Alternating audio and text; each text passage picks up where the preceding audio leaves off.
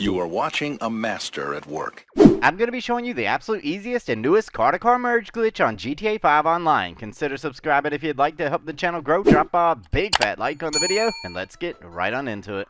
Sadly, this variation of the glitch requires you to have a third friend, and that third friend doesn't have to do anything at all. Just pull out a car and sit right there in the session. However, on the plus side, this glitch does not require you to get yourself glitched out in any way, shape, or form, so it's easy as can be. Let's begin. Load into an invite-only session with a friend and then a second friend as well. You're going to have your second friend to call out his ramp buggy, and he's going to park it exactly right here on the map. Once you get to this location, you're going to have him to back it up right here in this little crevice against these concrete pillars. He can also back it all the way up on top of the pillars if he'd like to do so and give you a little bit higher of an angle. From there, he's going to exit out of the vehicle and stand off nearby, and he can go completely AFK. If he does go AFK, tell him to have his stick set at an angle, that way his character's moving in a circle and he doesn't get kicked out. Now, you and your other friend are going to have to position your yachts in a certain way. So both of you are going to go to your individual yachts. You're going to go up to the captain's quarters. You're going to speak with him and you're going to ask to move the ship. Have your friend to move his ship first to the location called terminal. And once he does, you're then going to move your ship to the terminal location as well. Each ship location has a secondary location, and you're going to want your ship to be in that secondary location, which is going to be positioned directly out from your friend's ramp buggy car that's parked at the docks. And this is exactly what you want. Now that we have all those things set up and in position, we need to set up the vehicle that we're going to put all the modifications onto.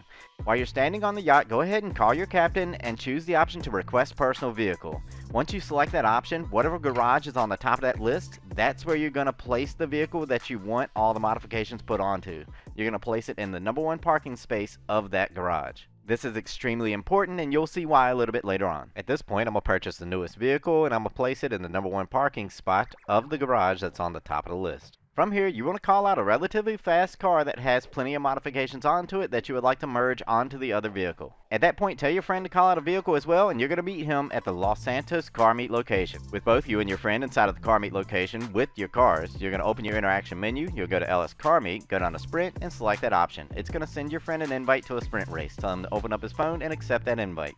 The sprint race is to start up. After the 3, 2, 1 countdown, you're to hold triangle for a couple of seconds and that's to respawn your vehicle. At this point, your other friend's just to wait right there and you're to make your way down to the docks to where that ramp buggy is parked. Once you're at the docks, you're to open up your phone, you're to call your captain, and you're to highlight the option to request the personal vehicle. With that option on screen, you're to drive all the way down this straightaway, all the way to the end, and then you're to turn around and we're to go full speed and hit the ramp buggy and launch out into the ocean out toward your yacht. And once you start to get close by your yacht, you're going to begin rapidly pressing the X button to select the option to request a personal vehicle. If it doesn't give you the option to do so, that means you landed too short. You're going to try again. Continue trying until you've gotten close enough to the yacht to where you're landing in the water and it's giving you the option to select that personal vehicle and you're rapidly pressing the X button on that option.